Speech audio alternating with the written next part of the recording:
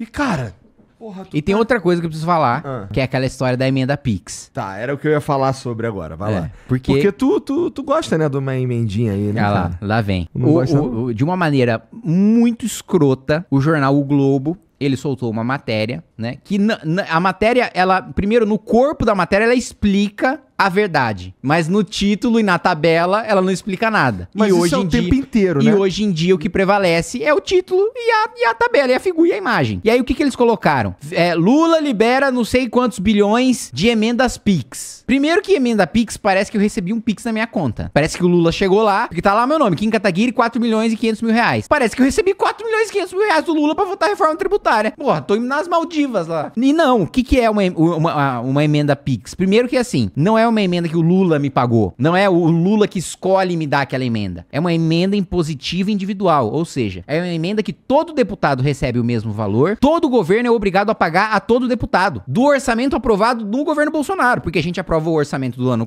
é, subsequente no ano anterior. Então, a gente tá executando o orçamento do governo Bolsonaro agora. A gente vai executar o primeiro orçamento do governo Lula a partir do ano que vem. Então, primeiro, não, não tem como ser nada do Lula porque o orçamento foi aprovado sob o governo Bolsonaro. Segundo, é emenda impositiva individual. O Lula é obrigado a pagar, senão ele comete crime. Eles estavam dizendo que era o quê? Que é como se eu tivesse sido pago pra votar a reforma tributária. Mas ele é obrigado a pagar. É o mesmo valor pra todo deputado. Não é quem tá na base do governo. Porque existe outro tipo de emenda. Que é aquela emenda que você, de fato, compra o voto do deputado. Que você vai lá, ó. Você vai receber mais pra votar junto com o governo. Como é que é o nome dessa? Essa existe. Não, não tem um nome específico, né? Tem, existem rubricas orçamentárias, mas é aqui a gente vai entrar numa discussão técnica e chata, mas Tá. pode chamar de RP2. Mas isso, isso é um, um- um instrumento de governabilidade, então. O cara, o, o, o- O, cara usa pra, é, pra ter maioria. Mas não é isso que, que, que foi a minha emenda. Porque, primeiro, porque não faria o menor sentido eu aceitar emenda de governo nenhum, porque eu não me elejo com base em emenda. Ninguém votou em mim porque eu inaugurei uma creche, um hospital em, em determinado lugar. né? Verdade. Não, não é o meu voto. Então não faz nem sentido, racionalmente, pensando.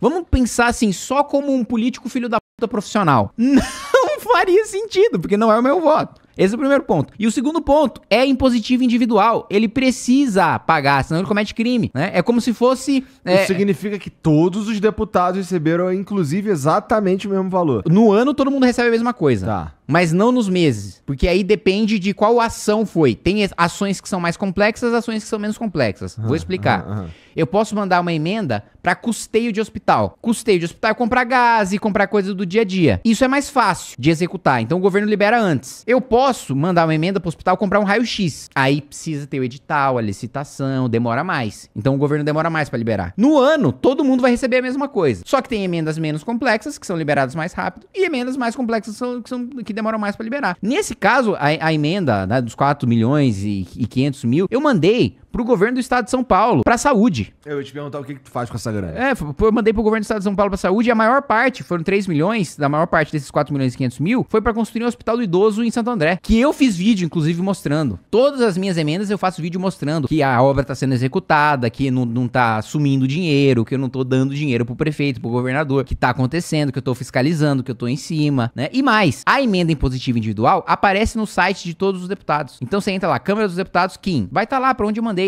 Como isso rodou, cara? Isso rodou as Rodou redes sociais. muito, rodou muito, como se eu caralho. tivesse vendido meu voto. Por causa de uma, de de uma escrotice de imprensa, de colocar o título que induz ao erro, uma tabela que induz ao erro, e aí só coloca no textão que ninguém lê pra não ser processado, né? Porque aí colocando no textão, se eu processar, eles vão falar, não, mas eu coloquei a verdade aqui, o cara que não lê a matéria inteira. Mas hoje, o cara lê só o título. Fazer o quê? É a vida que a gente, que a gente tá vivendo hoje. E aí, eu sou prejudicado por isso, fica aparecendo pra um monte de gente, que aí fica um monte de, de inimigo, adversário político utilizando como se eu tivesse vendido meu voto, quando eu votei por convicção. Como todas as vezes eu voto por convicção. No dia que eu não puder votar por convicção, não faz mais sentido ser político. É comum isso, na verdade, cara. Não, o cara não votar por convicção É. é. o que há de mais comum. É o que há de mais comum. É o que mais, Mas não é pra isso que eu é tô o que aqui. mais me entedia na É, política, é, mas não é, sinceramente. não, não, não é pra isso que eu tô aqui. Enfim, é uma emenda, é, é emenda impositiva obrigatória que todo mundo recebe e é o mesmo valor todos os anos. Eu mandei pra saúde, eu fiz vídeo mostrando e o filho da p vai lá e disse que eu vendi meu voto pra, pra, pra reforma Que- tributária. que- e, É- e é- assim, é é, usaram pra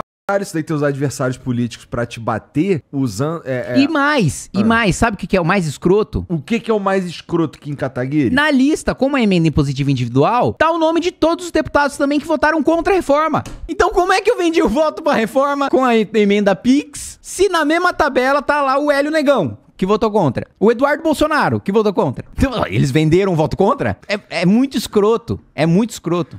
Tu viu os caras sacaneando o Tarcísio? Por causa dos 95%? Ele falou, não, pô, 95% da reforma é legal. E os caras ficaram usando, sacaneando. Porque assim, ele tá meio descolado, né, do- dos bolsonaristas. Ele foi muito sensato na reforma, cara. Ele conseguiu uma conquista pro centro-sul, pro estado de São Paulo, histórica. Por quê? A reforma tributária, ela vai ser regulamentada por um negócio chamado Conselho Federativo, que são todos os governadores, todos os prefeitos de capital. E aí, o que que acontece? Tem mais governador e mais prefeito de capital do norte e do nordeste, porque tem mais estados e mais, e mais capitais no Aham. norte e no nordeste. Aham. Porque ele é mais fragmentado, mesmo não tendo mais população, é mais fragmentado. E aí o que acontece? São Paulo sempre toma porrada quando o assunto é repasse de recurso federal. São Paulo, a gente costuma dizer, cada 11 reais que a gente manda, volta um do governo federal. São Paulo, pô, seria tão rico quanto a Suíça se não mandasse nada pra Brasília. Eu não tô dizendo que não precisa mandar nada, mas eu tô dizendo que é muito escroto a São gente Paulo é meu país. a gente mandar tudo isso. Vai pedir, é separatista? É muito- não, não.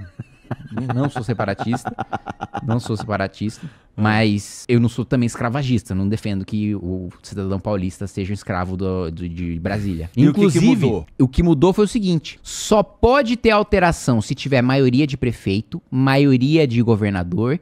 E que essa maioria represente a maior parte da população do país. Ou seja, não tem nenhuma modificação na regulamentação da reforma tributária sem que o Centro-Sul eh, concorde. Foi isso que o Tarcísio negociou. E ganhou, e conseguiu. E isso foi do Isso foi excelente. Isso foi uma baita vitória. Agora, o estado de São Paulo não tinha uma vitória política dessas em Brasília desde Getúlio Vargas. Desde Getúlio Vargas, que foi quando a União começou a ferrar com São Paulo por causa da Revolução de 32. E o Tarcísio conseguiu fazer a maior vitória política do estado de São Paulo no Congresso Nacional desde Getúlio Vargas. E o cara achou vairado por causa disso. O cara foi um herói. Falar, o cara foi um herói. Eu não tô falando disso porque eu gosto dele, porque eu gosto dele. Mas eu não tô falando disso porque eu gosto dele, ou é, porque eu sou aliado político dele. Não, eu tô falando porque isso foi excelente. Isso foi excelente. Quando eu conversei com o Tarcísio e com o Haddad, que é a época da, da eleição, Eu lembro que você falou que gostou dos dois. é, né? eu confesso que, que os dois me pareciam bastante preparados pra pra desenvol- desenvolver o trabalho, cara. O Tarcísio, esse descolamento dele da. E aqui é mais uma análise meio, sei lá, de achismo mesmo. Esse descolamento dele do, do bolsonarista tradicional, vou chamar assim. Bolsonarista mesmo, né? Porque não é porque o cara votou, votou no Bolsonaro que ele, Ele é, é bolsonarista. bolsonarista, claro. Isso, é- isso aí é. É claro. Mas esse descolamento dele deve atrapalhá-lo, porque ele deve ter pretensões um pouco, talvez, maiores, né? Ele pode. Poderia, se ele tivesse mais junto dos caras lá, ser, inclusive, é, aponta, ser apontado pra ser. Já que o Bolsonaro não pode ser Presidente. eleito, pra ser presidente. Mas isso dificulta ele um pouco na, nesse tipo de, de disputa, né? Eu acho que só mostra, só mostra como o quanto ele é correto. Porque o cara teve um prejuízo político, pessoal, e ainda assim bancou e manteve a posição. E isso, isso é o que eu fiz no mandato passado, indo pra oposição. Isso que eu fiz votando a reforma da Previdência. Isso que eu fiz em todas as votações em que o meu eleitorado tinha uma percepção sobre determinado assunto. Eu votei, passou o tempo, aquela, eu, demonstrei que aquela percepção estava equivocada, mas no curto prazo eu segurei o desgaste e, e votei como eu acreditava. Fala pessoal, o negócio é o seguinte: é fundamental que você se inscreva no Clube MBL para receber os bastidores de Brasília antes dos veículos de imprensa. Você vai saber o que acontece no judiciário, no executivo, no legislativo, antes de qualquer pessoa e vai ter acesso a todos os nossos documentários, mini documentários e votações internas do MBL. É só clicar aqui no link que você vai conseguir assinar.